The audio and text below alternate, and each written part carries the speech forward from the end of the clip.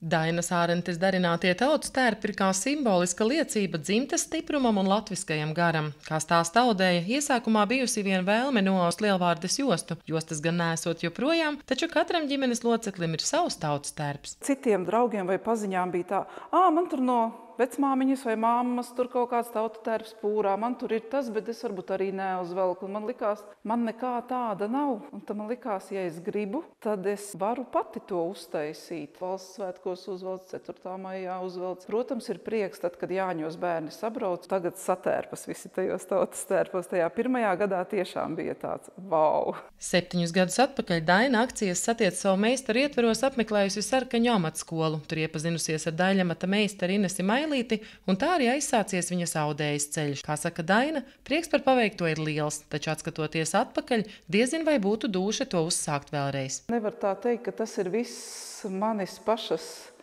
radīts, bet varētu drīzāk teikt, manis sagādāts ģimenei tautas tērps, jo šeit ir daudz ielikuši arī citi savu darbu. Gan šuvēji, gan cepuru meistari, gan aubes izšuvēji. Šis tas ir mans tērps, kurā es esmu visvairāk detaļas esmu pati veidojusi. Gan audusi bruņčus, gan krekli izšūsi, gan arī sievas cepure ir pašas izšūta. Visgrūtāk bija manu kreklu izšūt, tāpēc viņš nav ļoti greznes un arī sievas cepure. Zinu, ka man uh, kaut kas jautāja, tu to sazīmēji ar flamasteriem. Un tad, kad paskatījās tuvāk, tad ā, tas ar diedziņiem ir izšūts. Lai iedvesmotu arī citus, Lauteres kultūras namā izstādīti nevien ārentu dzimtas tautas tērpi, bet arī Daina sausties pilveni, anītās zeķes, Latvijas simtgadē darinātās segaras simtsbaltiem auseklīšiem, lakati un rokas sprādzes. Tā ir tikai daļa no prasmīgās meistaras paveiktajiem darbiem. Visu, ko es darinu, es cenšos, kad viņas ir lietas priekš mūsu sadzīves, lai viņas mums kalpo, nevis lai viņas mums stāv skapī, krāja putekļus tikai tik, tā, ka tu esi e, kaut ko sāudis un tev ir lieli kalni tur ar to, to, to. Man mājā īsti nekā nav, man viss ir izdāļāts. Un ja es kaut kur redzu, ka cilvēki to lietu nevis nobāzuši, bet lieto, tad pat, jā, tiešām, tad par to man ir prieks.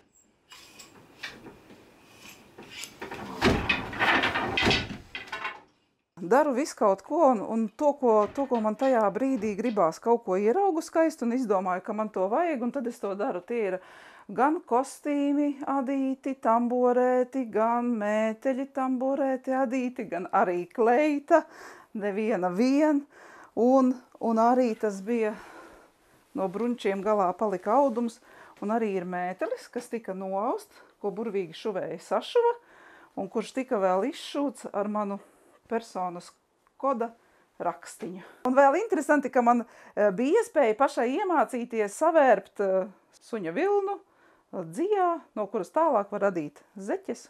Dainai patīk tas, ko viņa dara, un arī ģimenes locekļi jau pieņēmuši, ka daļu sava brīvā laika mamma pavada pie stēlēm. Ar humoru viņa komentē vīra reakciju vēlējās vakara stundās. Beidz daudzīt, nāc gulēt.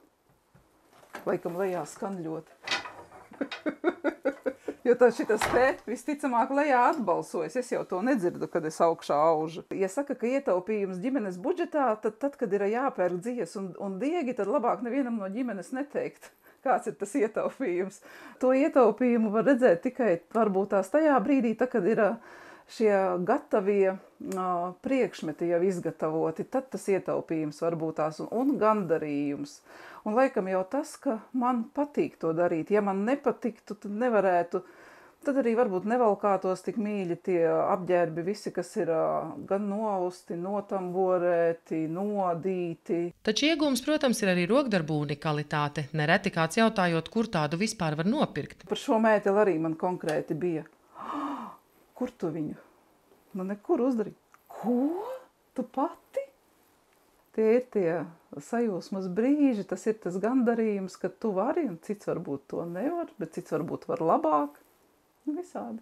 Dēla kāzas, mazdēliņa krustabas, līgo svētki un dziesmu svētki - tās ir reizes, kad savējiem redzot mugurā šos tērpus, Dainas ir cietrīcas priekā. Tiesa viņai gribētos, lai tie tiktu vilkti vēl biežāk, sajūtot katrā dzīparā ieusto spēku un mīlestību. Ja kaut ko gribi atstāt, tad atstāj savus darbus, nevis savas tukšās runas. Tas ir tas, ko varēs atstāt, jo, ja mēs tā padomājam, kas tad tas ir, ko mēs atstājam, tas, kas to savu DNS bērnos mēs atstājam, mazbērnos. Un šis varbūt ir tāds materiālais, kas paliks no paudzes uz paudzi, kamēr kodas sēdīs. Es domāju, tā ir vērtība, kas paliks, kas paliks ģimenes mantojumā.